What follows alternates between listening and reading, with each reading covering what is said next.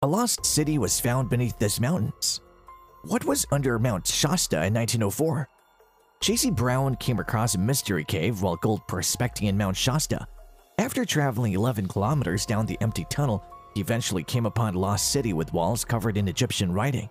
He discovered a chamber with 27 graves, each of which had a skeleton.